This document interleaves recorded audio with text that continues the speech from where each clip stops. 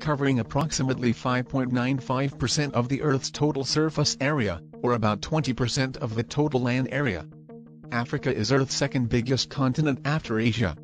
African continent covers a surface area of nearly 30,370,000 square kilometers. It is roughly three times the size of Canada, or twice the size of Arctic Ocean.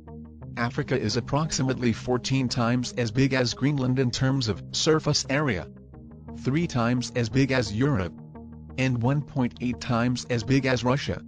While the Indian Ocean is 2.3 times as big as Africa.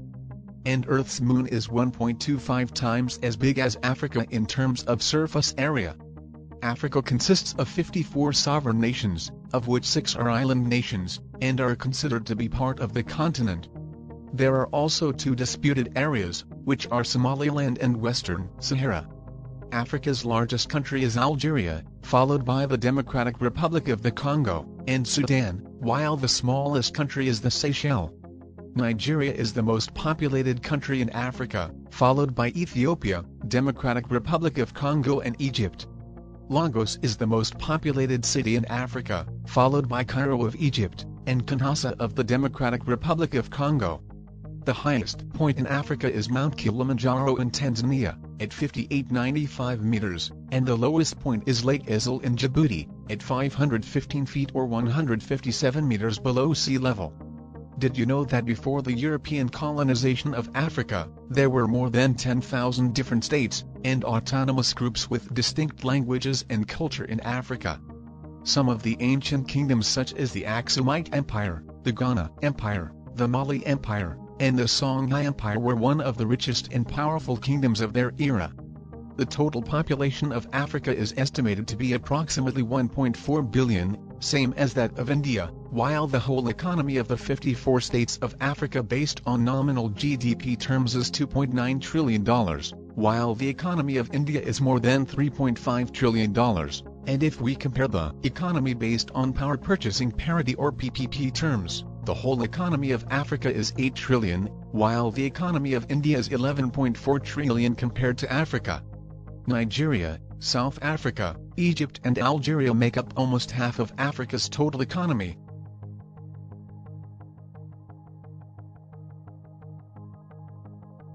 Covering more than 30 million square kilometers, Africa is a vast continent, with so many geological features. Let's talk about all of them in brief starting with the Atlas Mountains in northwestern Africa, which separates the Mediterranean and Atlantic coastlines from the Sahara Desert. They extend for more than 2,500 kilometers, from Morocco to Tunisia. After Atlas Mountain comes the Sahara Desert. The Sahara, which covers much of North Africa, spans nearly 9.2 million square kilometers, comparable to the size of China, or six times the size of Mongolia. Then we have the Sahel region. The Sahel is a wide stretch of land running completely across north-central Africa, on the southern edges of the Sahara Desert. This region is the transition zone between the dry areas of the Sahara and the tropical savanna grassland areas of the south. The Sahel spans 5,900 kilometers from the Atlantic Ocean in the west to the Red Sea in the east. After the Sahel we move on to the Congo River Basin rainforests the second largest rainforest after Amazon rainforests in the world. Located in the west and central part of Africa, surrounding the Congo River and its tributaries, the Congo rainforest covers nearly 2 million square kilometers. The Congo rainforest makes up 20% of the world's remaining rainforest. The majority of the Congo rainforest lies within the Democratic Republic of the Congo, Gabon, Republic of the Congo, Cameroon, Central African Republic, and Equatorial Guinea. Of these six countries, DRC contains nearly 60% of the Congo rainforest. The next important geological feature of Africa is its grasslands or savannas. Grasslands cover almost half of Africa, more than 13 million square kilometers. The savanna is sometimes called the tropical grasslands. These grasslands make up most of Central Africa, beginning south of the Sahara and the and ending north of the continent's southern tip. From savannas we move on to the Kalahari Desert. The Kalahari Desert is a large semi-arid savanna desert in southern Africa. covering a total surface area of 900,000 square kilometers. It is the sixth biggest desert by area on Earth and the second biggest in Africa after the Sahara. It covers nearly all of Botswana, and parts of Namibia and South Africa. The Kalahari Desert merges with the Namib Desert, in the southwest part of Namibia. Now let's talk about the oldest desert on Earth, the Namib Desert.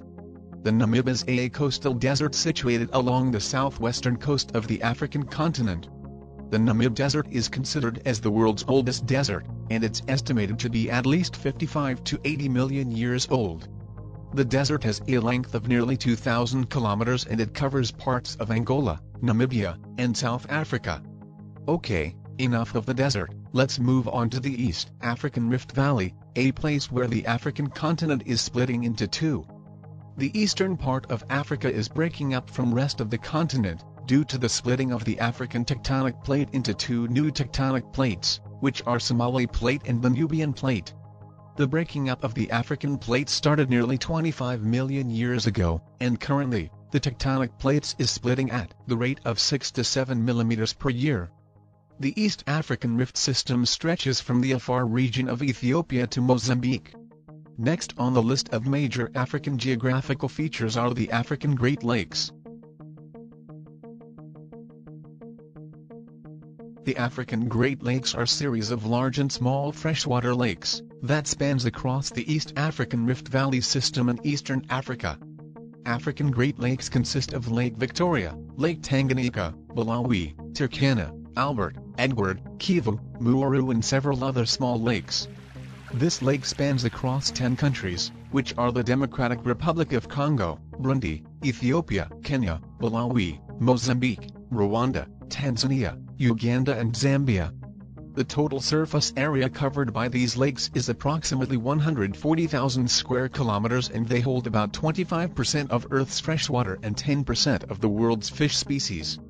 Lake Victoria is the largest of African Great Lakes, and is the second largest freshwater lake in the world after Lake Superior by area, covering nearly 70,000 square kilometers.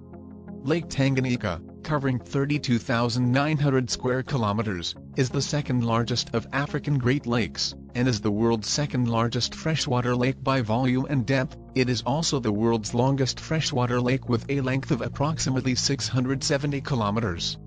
Lake Malawi, covering 29,600 square kilometers is the third largest of the African Great Lakes. It is the fifth largest freshwater lake in the world by volume, and the ninth largest lake in the world by area. One interesting fact about Lake Malawi is that it has more fish species than any other lake in the world, it has more than 1,000 different fish species. Lake Victoria, Lake Tanganyika and Lake Malawi are the largest of the African Great Lakes. Other lakes than these three covers much less surface area and less volume, they are Lake Turkana, Lake Albert, Lake Edward and Lake Kivu. Let's talk about them one by one. Lake Turkana covers 6,405 square kilometers and is the world's largest alkaline lake, and world's fourth largest salt lake by volume. Lake Albert is next and covers 5,300 square kilometers, Lake Edward covers 2,325 square kilometers, while Lake Kivu covers approximately 2,700 square kilometers. The last two major geographical features of Africa that are remaining are the Ethiopian highlands and the Swahili coast. Let's talk about each of them in brief. Ethiopian Highlands is a rugged mountainous plateau region in East Africa, covering much of Ethiopia and central Eritrea. The highlands are divided into northwestern and southeastern portions by the Rift Valley. It is sometimes called as the roof of Africa due to its height and large area. Ethiopian highlands are home to Africa's 80% tallest mountains. The tallest peak is Ras Dashen, which is 4,550 meters in altitude, and is the tallest mountain peak in Ethiopia. Now let's talk about the Swahili coast. The Swahili coast is a coastal area of the Indian Ocean in Southeast Africa, inhabited by the Swahili people. It mainly consists of Kenya, Tanzania, and northern Mozambique, as well as southern Somalia. The Swahili coast stretches about 1,600 kilometers along the Indian Ocean, from Somalia to Mozambique. The Swahili, including their culture, originated from a distinct combination of Arab and African origins. These people were merchants and traders who readily took on influences from foreign cultures.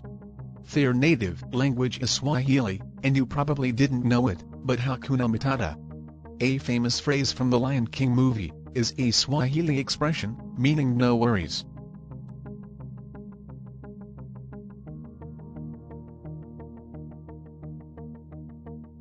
The major rivers of Africa include the Nile, the Congo, Niger, Zambezi, Orange, the Limpopo, and the Senegal River. Although there are several other important rivers in Africa, we will only go through this few main rivers.